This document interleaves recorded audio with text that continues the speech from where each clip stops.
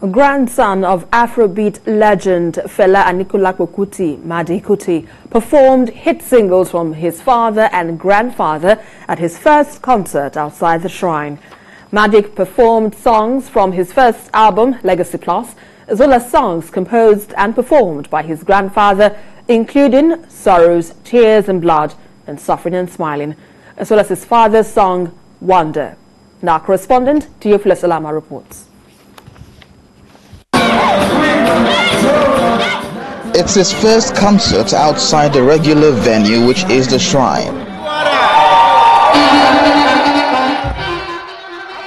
The grandson of the late Afrobeat maestro Fela Kuti, Made Kuti, has always been learning at the feet of his father. Now it's his turn to continue the legacy set by his predecessors, which his father Femi Kuti and his uncle Seun Kuti upheld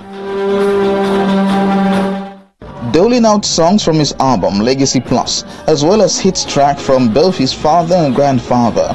Made Kuti shone like a million stars with his electrifying performance that got many dancing. His father, nonetheless, must have been prouder than he has ever been on seeing his son perform excellently. I tell people I will die happy. Because when you have a son like this, you know you are living life and you are confident of your child's character. What more do you ask God for? So, Made is that kind of child. I feel really happy for him, and it's a big day for the family. It shows that we are truly a dynasty. I think I can say we are the first Nigerian true dynasty. Made performed hit tracks like Sorrow, Tears and Blood and Suffering and Smiling, as well as his father's song Wonder, Bang Bang Bang amongst others music most powerful weapon. I think it's time. Because once it's recorded, it lasts for such a long time in because it's you know it's a it becomes a movable object. I think he's going to have it easier than Femi had it. Because Femi had it difficult because Fela was still alive and Fela's were big shoes to fill, but Femi's shoes were bigger than Fela's anyway, so he didn't have to fill any shoes. He just had to do be his own man. Um, for Made, um, he has the full support of his father, and he knows his work.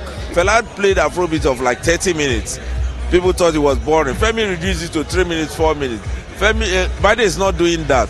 Made has tracks that are like six minutes, like that seven minutes. That is somewhere in between what Fela did and what his father did. From start to finish, the hall was electrified by the performance of the young Kuti, who many believe is set to continue the legacy set by his predecessors.